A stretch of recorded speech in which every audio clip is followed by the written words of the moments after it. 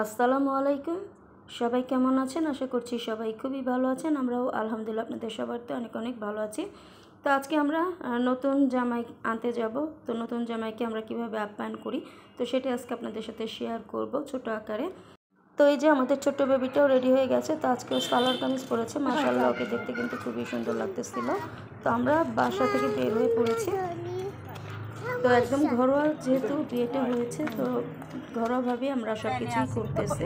তো যাই হোক, এই যে আমরা গাড়িতে উঠে পড়েছি অলরেডি আর আমরা গিয়েছিলাম বৃহস্পতিবার দিন, তো বৃহস্পতিবার আসলে রাস্তা অনেক জ্যাম ছিল, তো জ্যামের মধ্যে বসেছিলাম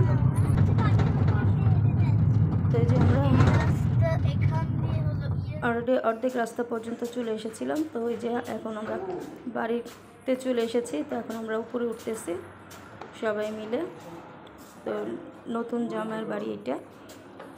তো তারাও আমাদের কীভাবে আপ্যায়ন করল তো সেটাও আপনাদের সাথে শেয়ার করবে অল্প একটু একটু করে। তো আসার পরে যে তারা আমাদের শরবত খেতে দিয়েছিল।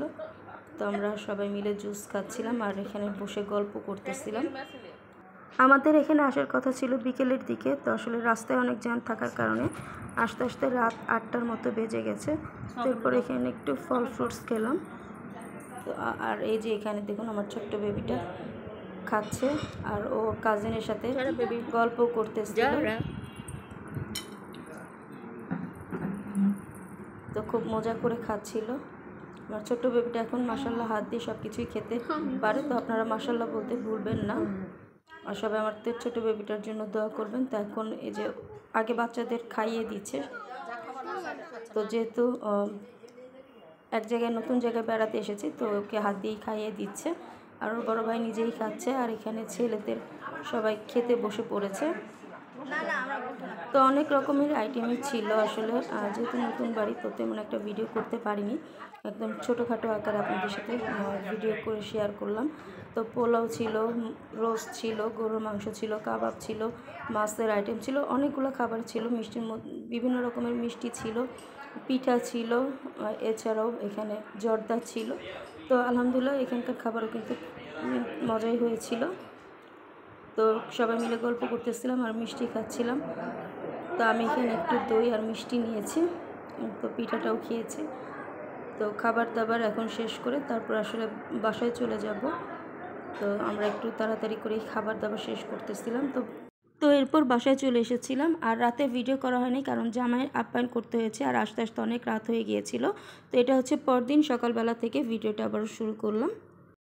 তো সকালবেলা নাস্তাতে ছিল পিঠা সুইট রুটি, মিষ্টি, পরোটা, ডিম গরুর মাংস। মিষ্টি, তো বিভিন্ন রকমের মিষ্টি ছিল এখানে। তো অনেক কিছু, অনেক আইটেম দিয়েই কিন্তু সকালবেলা নাস্তা দিয়েছিলাম জামাইকে। তো নাস্তা করার পর এখন সবাই মিলে একটু চা খাব। তো চা বানিয়ে নিচ্ছে। তো তার মধ্যে এখানে কিছু আছে চিনি ছাড়া চা আর আমরা বাকি সবাই চিনি দিয়ে খাব চা। তো যাই হোক, আমাদের খাবার দাবারের পর্ব শেষ হয়ে গেছে। এরপর সবাই গল্প টল্প করেছে। তো এটা হচ্ছে দুপুরবেলার খাবারের আয়োজন। তো দুপুরবেলায় আমরা এখানে রোস্ট ছিল এখানে একটা চাইনিজ ভেজিটেবল ছিল চিকেন দিয়ে, এখানে জালি কাবাব, বোরহানি ছিল। এটা হচ্ছে ইলিশ মাছের একটা রেসিপি তো এই রেসিপিটা আমার চ্যানেলে আছে অলরেডি আর এই যে এখানে হচ্ছে চাটনি ছিল সালাদ পোলাও। তো আলহামদুলিল্লাহ প্রতিটা খাবারই কিন্তু অনেক বেশি মজা হয়েছিল। এছাড়াও বিভিন্ন আইটেমের মিষ্টিও ছিল ডেজার্টের মধ্যে। তো খাবার দাবার সব বেড়ে দিয়েছি। তো জুম্মার নামাজ পড়ে এখন সবাই খেতে বসে পড়েছে। আর এই যে আমাদের নতুন জামাই, সব জামাইরা মিলে একসঙ্গে খাচ্ছে, সঙ্গে চাচা শ্বশুর ছিল। তো যাই হোক, আমাদের খাবার দাবারের পর্ব শেষ হয়ে গেছে। তো এখন আমরা সবাই বসে একটু মিষ্টি মিষ্টি খাচ্ছি। তো আমি আসলে এর থেকে আর বেশি ভিডিও করতে পারিনি, কারণ অনেক বেশি ব্যস্ত ছিলাম। আর আমি আমার ভিডিও আজকে এখানেই শেষ করছি। তো সবাই ভালো থাকবেন। আল্লাহ হাফেজ সবাইকে।